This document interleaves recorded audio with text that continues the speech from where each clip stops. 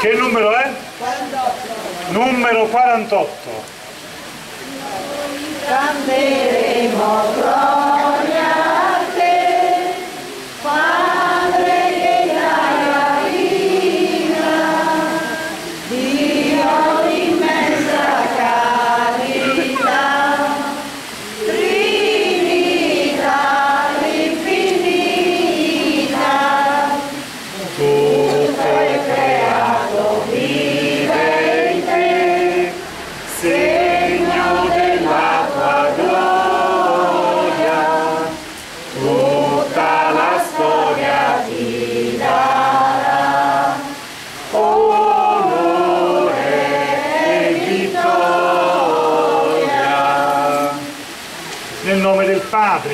Figlio e dello Spirito Santo. La grazia e la pace di Dio nostro Padre e del Signore nostro Gesù Cristo sia con tutti voi.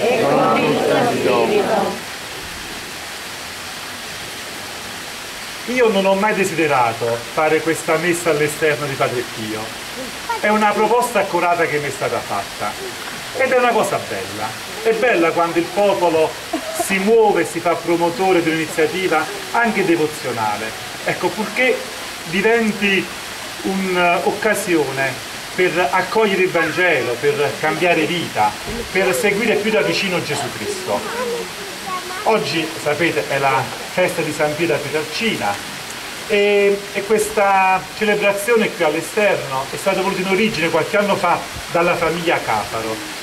Adesso c'è chi continua questa iniziativa con l'appoggio anche dell'amministrazione che ringraziamo.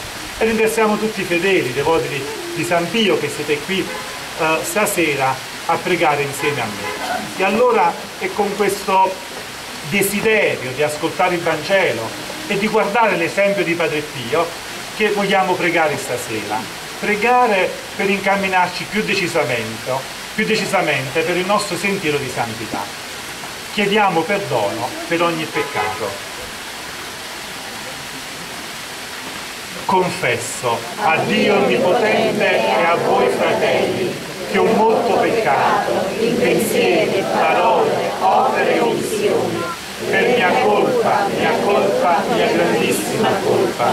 E supplico la Beata Sempre Vergine Maria, gli angeli, i santi voi fratelli, di pregare per me il Signore Dio nostro. Dio Onnipotente abbia misericordia di noi, perdoni i nostri peccati e ci conduca alla vita eterna. Signore, pietà.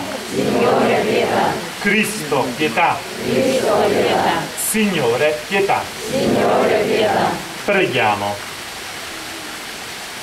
Dio Onnipotente ed Eterno, con grazia singolare hai concesso al sacerdote San Pio da Pietralcina di partecipare alla croce del tuo Figlio e per mezzo del suo ministero ha rinnovato le meraviglie della tua misericordia, concedi a noi, per sua intercessione, che uniti costantemente alla passione di Cristo, possiamo giungere felicemente alla gloria della risurrezione. Per il nostro Signore Gesù Cristo, tuo Figlio che è Dio, e vive e regna con te nell'unità dello Spirito Santo per tutti i secoli dei secoli. Ci accomodiamo.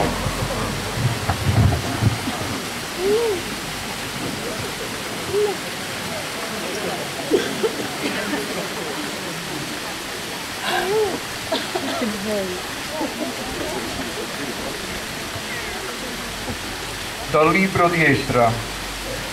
Io, Estra, all'offerta della sera mi alzai dal mio stato di prostrazione e con il vestito e il mandello laceri caddi in ginocchio e stesi le mani al Signore, mio Dio, e dissi, mio Dio, sono confuso, ho vergogna di alzare la faccia verso di te, mio Dio, poiché le nostre iniquità si sono moltiplicate fin sopra la nostra testa. La nostra colpa è grande fino al cielo.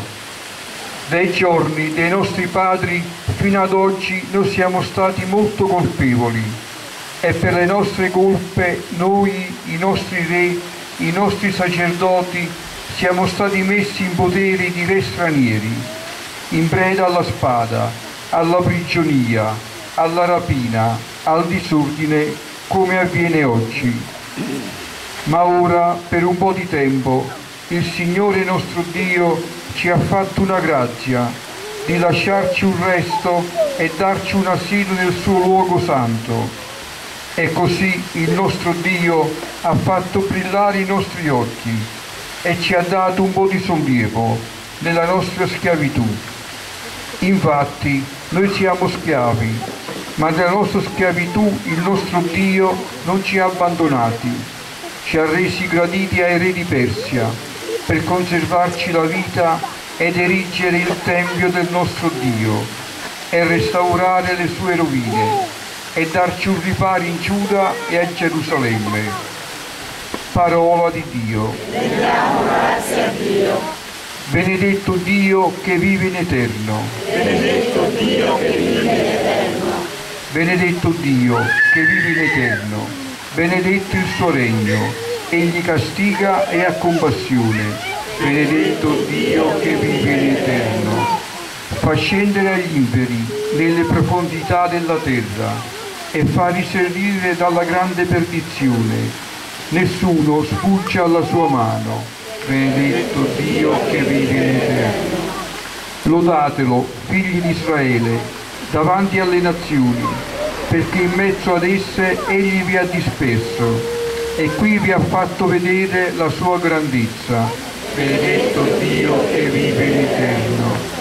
Date gloria a Lui davanti a ogni vivente, poiché è Lui il nostro Signore, il nostro Dio lui il nostro Padre, Dio per tutti i secoli.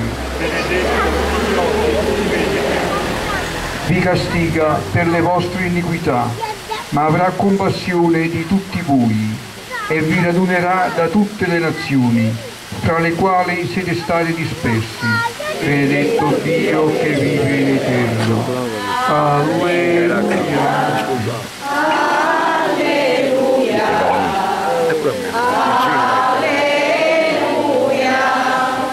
Il regno di Dio è vicino, convertitevi e credete nel Vangelo.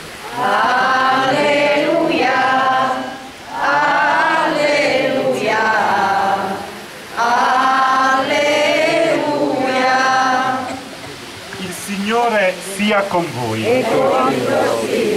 Dal Vangelo secondo Luca. Gloria. In quel tempo in quel tempo Gesù convocò i dodici e diede loro forza e potere su tutti i demoni e di guarire le malattie e li mandò ad annunciare il regno di Dio e a guarire gli infermi. Disse loro, non prendete nulla per il viaggio, né bastone, né sacca, né pane, né denaro, e non portatevi due tuniche. In qualunque casa entriate, rimanete là, e di là poi ripartite. Quanto a coloro che non vi accolgono, uscite dalle loro città e scuotete la polvere dai vostri piedi come testimonianza contro di loro. Allora essi uscirono e giravano di villaggio in villaggio, ovunque annunciando la buona notizia e operando guarigioni. Parola del Signore. Gloria a te, o Cristo.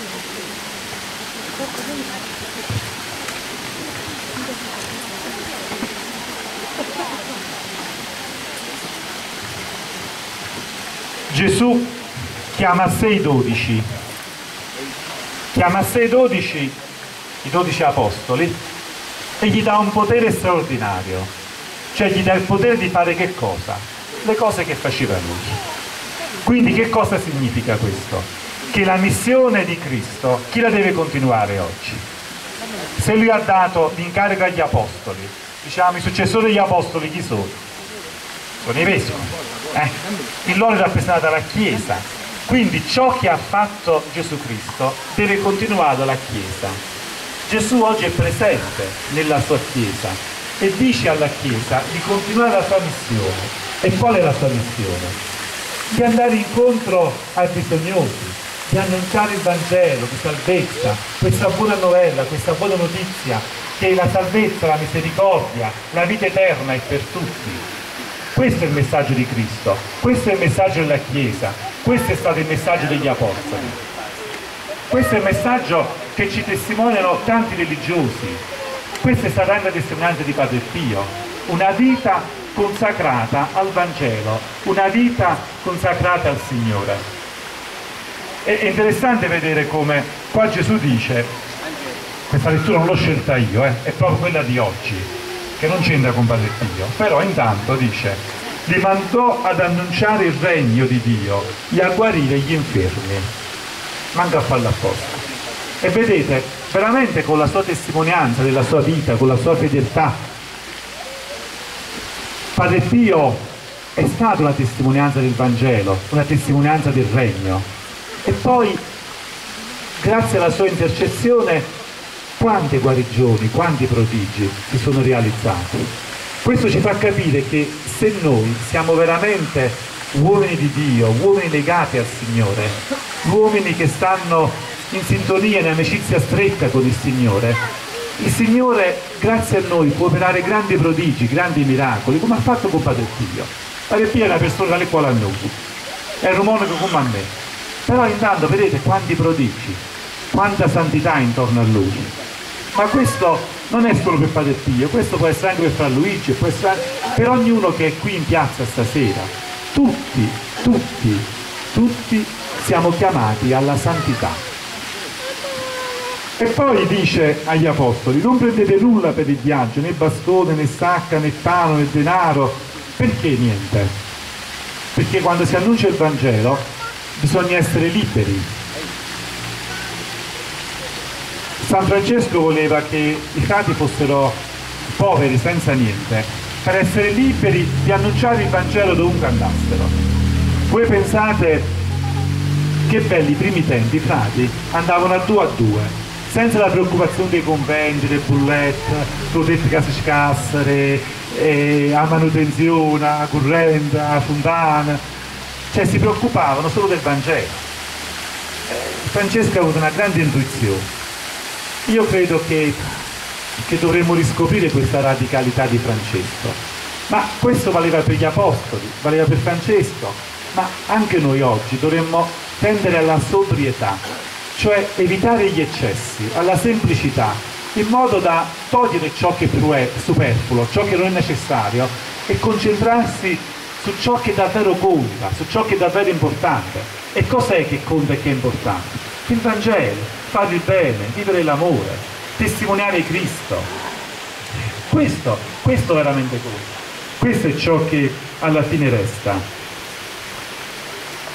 E, e poi dice che in qualunque, questo è interessante, in qualunque casa entriate rimanete là e di là poi dipartite. Che cosa vuol dire qua? Che quando entrate in un paese per annunciare il Vangelo, entrate in una casa, vi accolgono, va bene là. Non c'è bisogno di dire, no, però la casa a fianco è più meglio, la si mangi più meglio, no. Entri una parte, basta che ti hanno accolto, va bene. E se non ti accolgono, scuote la polvere dai calzati. Cioè dici, nemmeno la polvere Ecco, quel paese con cui accolto deve restare attaccato ai tuoi piedi, a testimonianza per loro, affinché si convertano. Che cosa ci dice questo? Che vedete, nemmeno Gesù è stato accolto da tutti, nemmeno gli apostoli, nemmeno San Francesco, nemmeno Padre Pio, c'è chi ha resistito. Allora, magari poi il Signore ha trovato altre strade per farle convertire queste persone. Però non ci dobbiamo meravigliare se non tutti ci accolgono. È stato sempre così. Però abbiamo il dovere di annunciare sempre il Vangelo, con coraggio e con generosità e anche con insistenza. Poi chi ci accoglie ci accoglie. Noi seminiamo, poi il Signore provvederà per il raccolto. Questo è fondamentale. E pensando oggi a Padre Pio, eh, il pensiero va anche a, certamente alla bellezza di seguire Gesù, di seguire il Vangelo, ma anche alla difficoltà del seguirlo voi pensate che Padre Pio ha contemplato molto la sofferenza, la croce di Gesù e talmente ha offerto la sua vita per Gesù che, come già era successo per San Francesco, ha avuto le stimmate, no?